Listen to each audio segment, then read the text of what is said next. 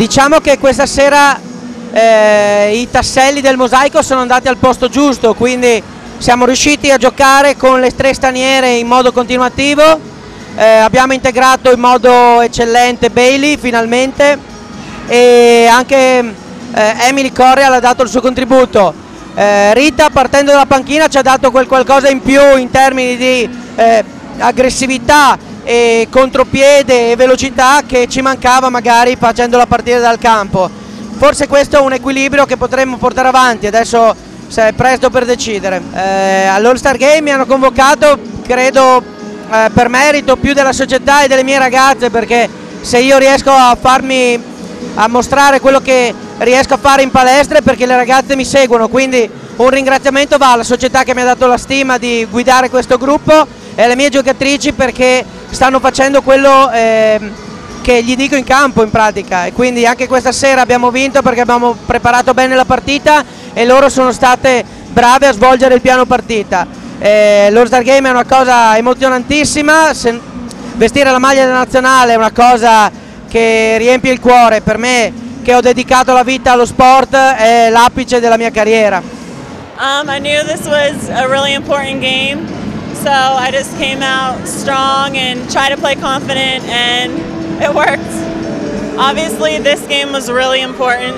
um, in order to make uh, playoffs. So I think if we keep up, like keep with this momentum, then we'll be able to win a couple more games and hopefully play in playoffs.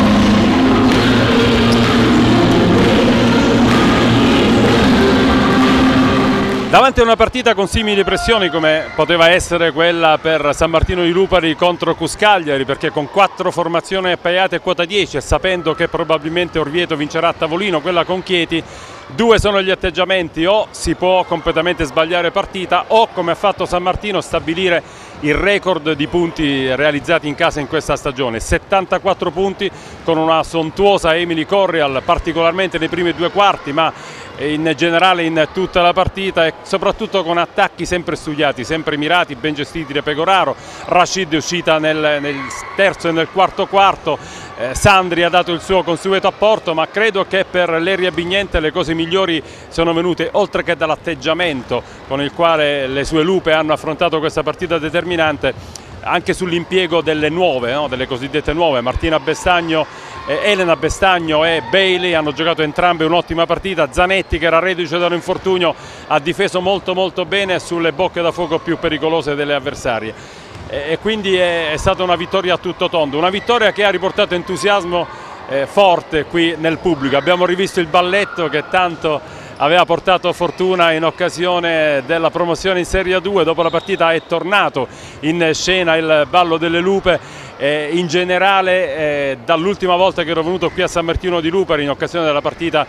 eh, persa in casa contro la Spezia, tante piccole cose sono migliorate, la gente sembra maggiormente fidelizzata, c'è maggiore partecipazione, al di là delle belle iniziative della, delle maschere per Carnevale e di altre che abbiamo visto andare in eh, scena in occasione di questa partita importante, però direi che la cultura dell'accoglienza fa di San Martino di Lupari oggi un modello, in giro per l'Italia si parla del modello San Martino di Lupari non tanto per eh, eh, la situazione senza pressioni che possono vivere le ragazze, pressione del risultato a tutti i costi, ma anche perché è bello sentire lo speaker in tutti i palazzetti, dovrebbe essere così, eh, dire applaudiamo le avversarie di oggi, il Cuscaglieri come è stato oggi ma tante altre in questa stagione. Questa è la bellezza di vivere la pallacanestro con competenza ma anche con la consapevolezza che tutto sommato nel periodo che si vive, nel mondo in cui viviamo, stiamo parlando ancora di un gioco e questo fa di tutti quanti noi, dal pubblico alle giocatrici, a me che vi parlo, dei privilegiati. Quindi